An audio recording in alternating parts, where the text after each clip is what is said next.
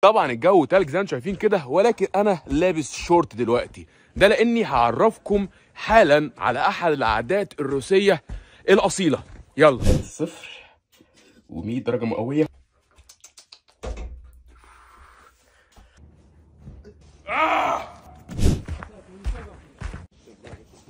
دلوقتي يا جماعة ندخل نجرب الساونا الروسية أو زي ما بيقولوا عليها الروس البانيا أحد العادات الروسية الأصيلة. بسم الله.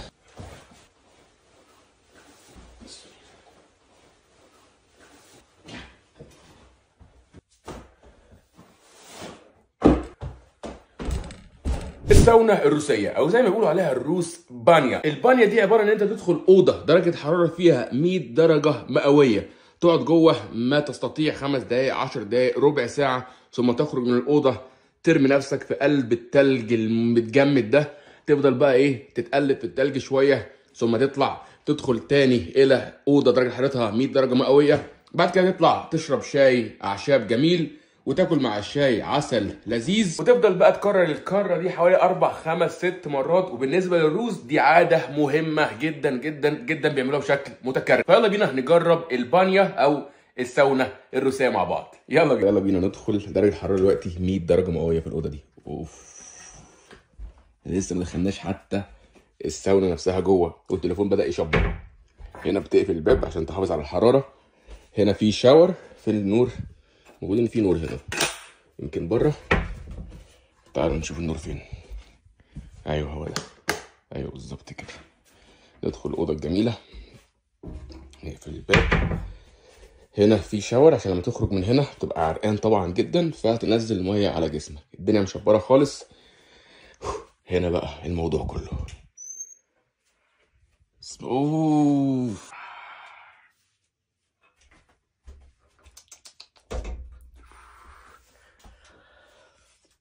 مولع نار نار نار.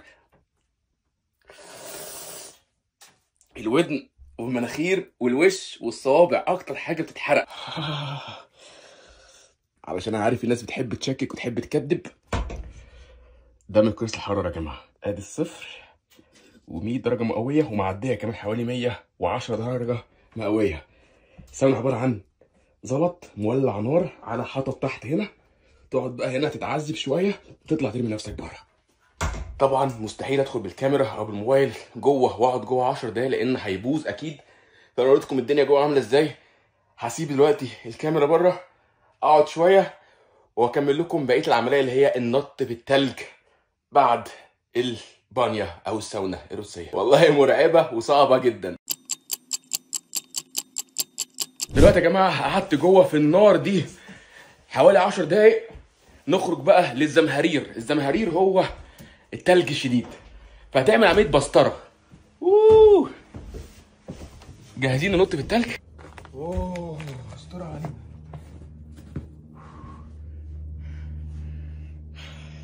شايفين يا جماعة سمك التلج عامل إزاي آه!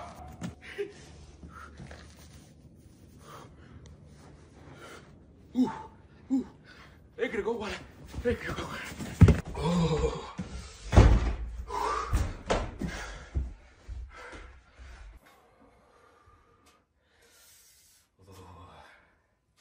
نار يا حبيبي نار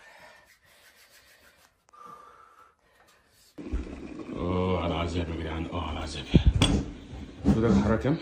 121 جوه. أوف نار. نار يا حبيبي نار. تعالوا أوريكم بقى شاي الأعشاب الجميل ده. تغلي المية وتودي المية.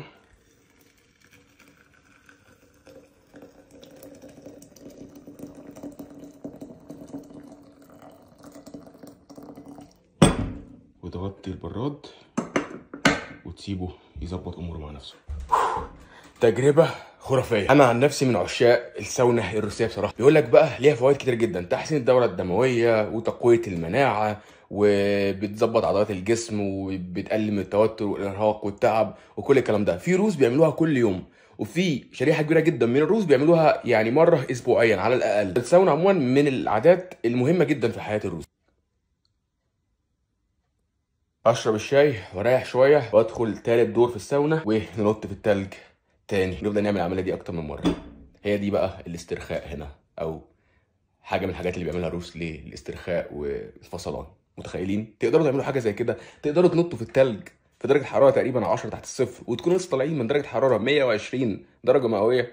يعني في بسطرة بتحصل في الموضوع. اكتبوا تحت في التعليقات تقدروا على حاجة زي كده ولا ما تقدروش؟ تحبوا تجربوا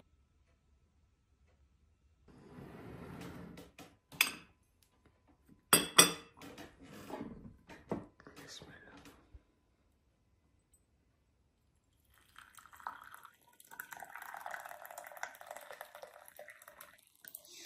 مم، ريحة الشاي خطيرة ما شاء الله. وده عسل نحل طبيعي.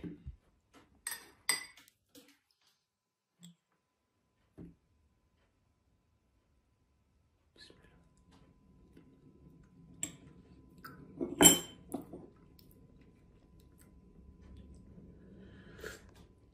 مم، سلام. أحلى شاي ده ولا إيه؟ أنا وقت الدخول للمرة الثالثه سيب ال- الكاميرا بره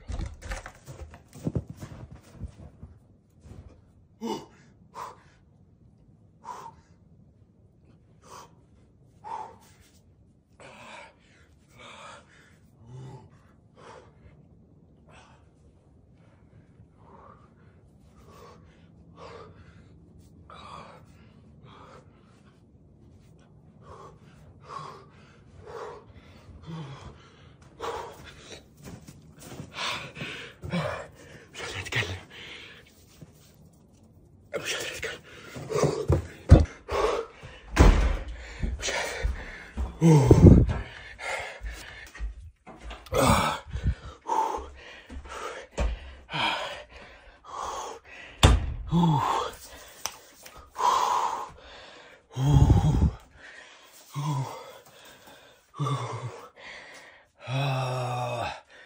إحساس التلج مع النار تلج ونار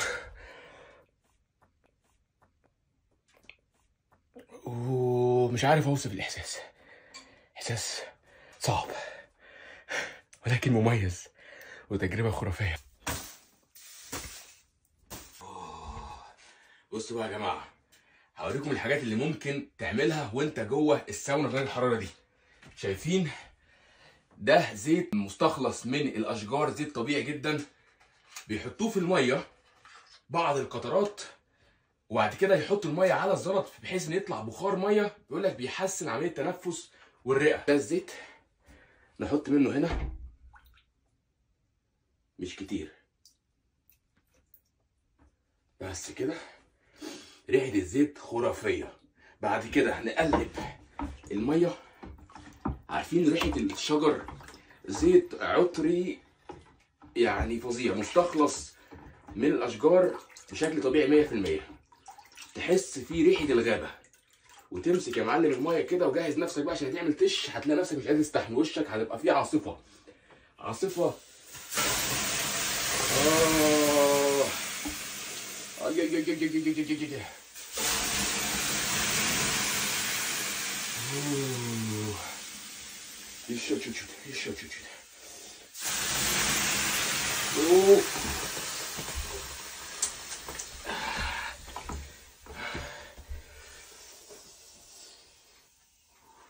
البخار ده كده. بريحة الزيت والشجر. تاخد نفس. يحسن الرئة. يا ريتكم شامين لنا شموا يا جماعة. تحس نفسك دخلت في قلب غابة عصرت جواها مع الحرارة مع البخار. ريلاكسنج وإحساس جامد جدا.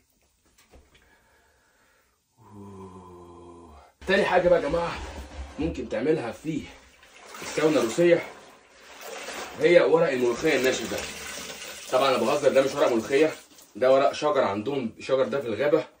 بيستخدموا الورق ده بيجففوه وبعد كده يحطوه في المية بالشكل ده. تمام؟ وانت قاعد بقى جوه تفضل إيه؟ آه تضرب في نفسك. فكرة في إيه يا معلم؟ الفكرة إن ده بيحسن الدورة الدموية.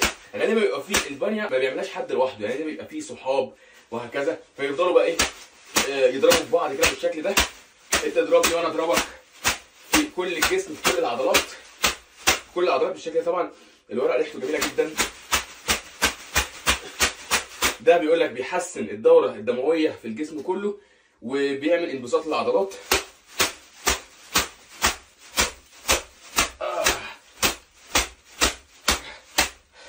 بالشكل ده تضرب كل حتة في جسمك. بعدين لما يبقى في مجموعة مع بعض يعني حد بيستلقى وياخد الدور وبعد كده يقوم وحد تاني وهكذا. فده الورق اللي بيستخدموه هنا في الموضوع ده آه. فالموضوع الساونا هنا مهم جدا وحواراته كتير يعني ننط في التلج تاني آه. أنا دخت خلاص بقيت عارف أروح فين واجي منين. يا ربي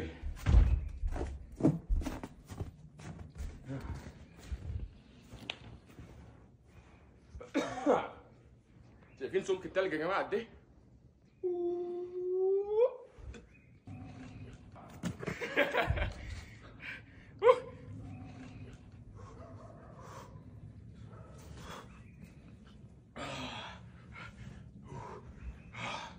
دلوقتي يا جماعة بقى تقول لي المناعة إيه؟ أقول لك المناعة يا معلم نار. لا برد ولا إنفلونزا. خلاص أنت كده خدت مناعة. بقيت روسي سيبيري أصلي.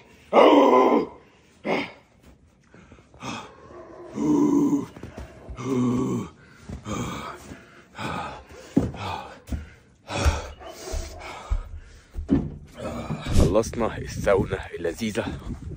وريحت شوية وشربنا الشاي الجميل. دلوقتي بقى هروح أكل لقمة. جعان.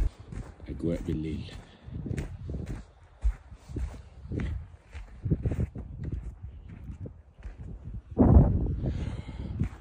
اسم المكان ده тепло.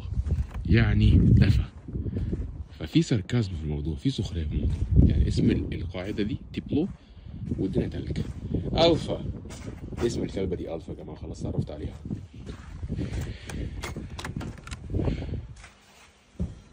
السلام عليكم здравствуйте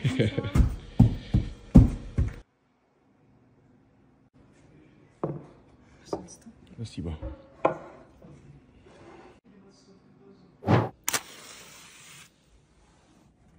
ولا ولا ولا ولا والاجواء ولا اروع اديني ادي غابه وظلام وتلج عايزين تاني من الدنيا ولعت ولا ولعت ولعت ولا ولعت